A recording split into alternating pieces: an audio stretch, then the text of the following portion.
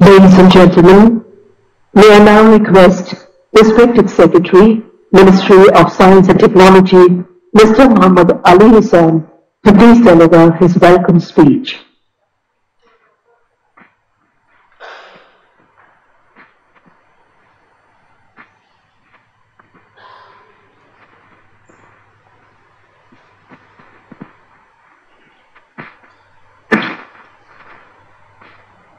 পারমাণবিক বিদ্যুৎ কেন্দ্রের গ্রাজুয়েশন অনুষ্ঠানে গণভবন থেকে ভিডিও কনফারেন্সে সংযুক্ত গণপ্রজাতন্ত্রী বাংলাদেশ সরকারের মাননীয় প্রধানমন্ত্রী Sheikh Hasina.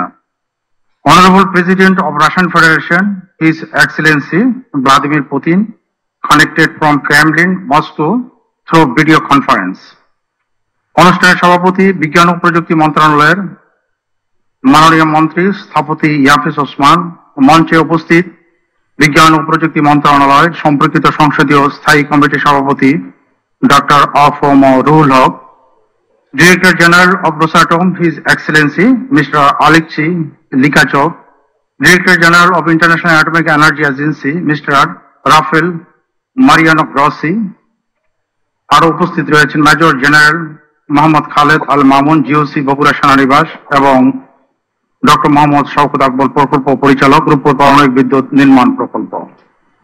অনুষ্ঠানে আরও উপস্থিত রয়েছেন মাননীয় মন্ত্রীবর্গ, মাননীয় সংসদ সদস্যবৃন্দ, সম্মানিত প্রধানমন্ত্রী মক্কর সচিব, সামরিক, বেসামরিক ঊর্ধ্বতন কর্মকর্তা বৃন্দ সম্মানিত সাংবাদিক বৃন্দ এবং আমন্ত্রিত অতিথিবৃন্দ। আসসালামু আলাইকুম and good afternoon to you all Rooppur পারমাণবিক বিদ্যুৎ কেন্দ্রের গ্রাজুয়েশন এই অনুষ্ঠানে আমি আপনাদের সকলকে আন্তরিক শুভেচ্ছা ও স্বাগত জানাই। আমার বক্তব্যের শুরুতেই আমি শ্রদ্ধা বর্তম চিত্তে স্মরণ করছি স্বাধীন বাংলাদেশের মহান স্থপতি সর্বকালের সর্বশ্রেষ্ঠ বাঙালি জাতির পিতা বঙ্গবন্ধু শেখ মুজিবুর রহমানকে। স্মরণ করছি বঙ্গমাতা শেখ ফজিলাতুন নেসা মুজিব সহ বঙ্গবন্ধু পরিবারের শহীদ সদস্যদেরকে একইভাবে স্মরণ করছি জাতীয় চার নেতা ও মহান মুক্তিযুদ্ধের বীর শহীদ ও মুক্তিযোদ্ধাদের। সম্মানিত সুদী, অনেক চড়াই উত্তরে পার হয়ে রূপপুর পারমাণবিক বিদ্যুৎ কেন্দ্র বাস্তবায়নের প্রায় চূড়ান্ত পর্যায়ে পৌঁছেছে। এই উপলক্ষে আয়োজন করা হয়েছে এই কেন্দ্রের আজকের এই গ্রাজুয়েশন অনুষ্ঠান। পারমাণবিক জ্বালানি গ্রহণের মাধ্যমে রূপপুর পারমাণবিক কেন্দ্র নির্মাণের স্বপ্ন আজ বাস্তবায়নের দ্বার প্রান্তে এখন অপেক্ষা শুধু চাবি গ্রহণ তারপরে এই কেন্দ্রের ইউনিট এক থেকে উৎপাদিত বারোশো মেগাওয়াট পারমাণবিক বিদ্যুতে সমৃদ্ধ হবে আমাদের জাতীয় গ্রিড মাননীয় প্রধানমন্ত্রীর দূরদর্শী নেতৃত্ব, দুর্দমনীয় আশাবাদ, অবিচল সিদ্ধান্ত আর অপরাজীয় শক্তি ও সাহস আমাদের জন্য এনে দিয়েছে বঙ্গবন্ধুর পারমাণবিক বিদ্যুৎ কেন্দ্র নির্মাণের স্বপ্ন বাস্তবায়নের এই সফলতার সোনালী প্রত্যুষ। সুধী মণ্ডলী, মাননীয় প্রধানমন্ত্রীর কাছে আমাদের অপরিশুদ্ধ ঋণ। বঙ্গবন্ধুর জন্ম না হলে যেমন বাংলাদেশেরই জন্ম হতো না, তেমনি মাননীয় প্রধানমন্ত্রী শেখ হাসিনার উদ্যোগ ছাড়া এই রূপপুর পারমাণবিক বিদ্যুৎ নির্মাণ প্রকল্প আলোর মুখ দেখত না। তার হাতি দুই হাজার তেরো সালে রূপপুর পারমাণবিক বিদ্যুৎ কেন্দ্র নির্মাণের প্রথম প্রকল্পের ভিত্তি স্থাপনের মাধ্যমে শুরু হয় এই কেন্দ্র নির্মাণের বাস্তব কর্মযজ্ঞ। তারপরে পর্যায়ক্রমে দুই হাজার সতেরো ও দুই হাজার আঠারো সালে তিনি সূচনা করেন যথাক্রমে ইউনিট এক ও ইউনিট দুই এর প্রথম কনক্রিট ঢালাই। দুই হাজার একুশ ও বাইশ সালে তিনি স্থাপন করেন ইউনিট এক ও ইউনিট দুই এর রিয়াক্টর প্রেসার ভেসেল।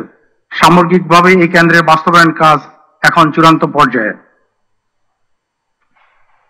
সম্মানিত সুদীবৃন্দ এই প্রকল্প বাস্তবায়নে উৎসাহ প্রেরণা ও দিক নির্দেশনা দানের জন্য মাননীয় প্রধানমন্ত্রীকে আন্তরিক ধন্যবাদ ও কৃতজ্ঞতা জানাই।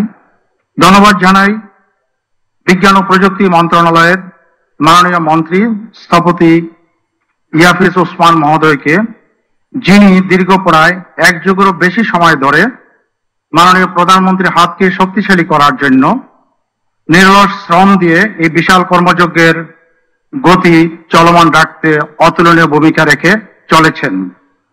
একই সাথে রাশিয়ান ফেডারেশনের রোসাটম ও অ্যাটোমাস্ট্রো এক্সপোর্টের প্রতিনিধিবৃন্দ, রূপপুর পারমাণবিক বিদ্যুৎ কেন্দ্র নির্মাণ প্রকল্পের বাস্তবায়নের সাথে বাংলাদেশ পরমাণু শক্তি কমিশন, বাংলাদেশ পরমাণু শক্তি নিয়ন্ত্রণ কর্তৃপক্ষ সহ সকল মন্ত্রণালয়, ডিভিশন এবং সকল স্টেক হোল্ডারদেরকে আন্তরিক ধন্যবাদ জানাই। সংশ্লিষ্ট সকলের সহযোগিতায় রূপপুর পারমাণবিক বিদ্যুৎ কেন্দ্র নির্মাণ ও পরবর্তী পর্যায়ে এর পরিচালনায় আমরা সফল হব, সক্ষম হব, এই প্রত্যয় আমাদের। জয় বাংলা, জয় বঙ্গবন্ধু, বাংলাদেশ চিরজীবী হোক।